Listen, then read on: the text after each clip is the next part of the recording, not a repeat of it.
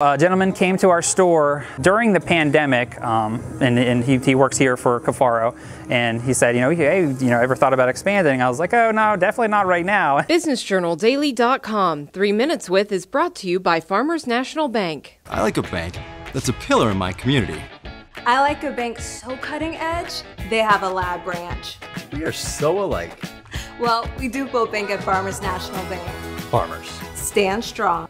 We are a uh, local game store here. We sell card games, board games, puzzles, collectibles, different things.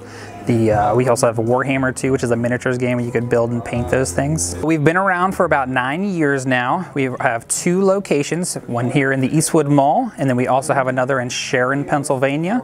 We've held different kinds of tournaments there, um, done a bunch of different things over the years, and we finally decided to make a new store over here in Niles. A gentleman came to our store during the pandemic, um, and, and he, he, works here for Cafaro, and he said, you know, hey, you know, ever thought about expanding? I was like, oh no, definitely not right now. and uh, the uh, uh, hey, and uh, no. some time went on, and things you know things were okay, and we're like uh, we were ready to, to, to go to the next level. Just you know, just, we kind of got complacent. Everything was you know everything was on autopilot. We're ready to move forward, and we're like, you know what, that does sound like a good idea. You know, just uh, um, the foot traffic, not as much work to do to get it up off the ground, and just you know, and then that's kind of where we went.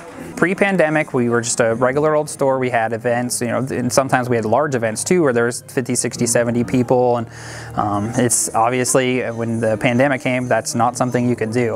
Uh, we we closed down for a month and a half, two two months. I can't remember the uh, six about about six weeks. So we closed the doors for that long.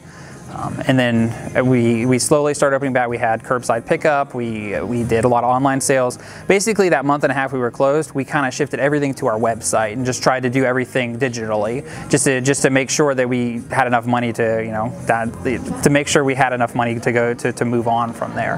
But yeah, as, as time went on, more and more people they they they kind of gravitated towards the, the collectible market as opposed to you know not spending their money. So it's it was it was really interesting kind of shift to, to from from where we were to where we are now. So the reason why you should shop here is because the money comes back to the community, right? So you know I pay I pay property tax. You know I there's you know there's I pay I sales tax. There's so many all that money goes back to to you. So you know if you go spend it online you know, at a store in California, what does that do for you? You know you just get the good and you move on So it, there's a little bit added added function there, but but also you know the, the biggest question I get when people come in is you know where do I start, right? So you can't go on on Amazon.com and type you know where do I start, and then nobody tells you you need this card, you need this deck, you need this book. So it's you know that's that's kind of what we provide, as they say, is we guide you to where what you need, what you you know to, to where you need to go to have fun. BusinessJournalDaily.com. Three Minutes With is brought to you by Farmers National Bank. I like a bank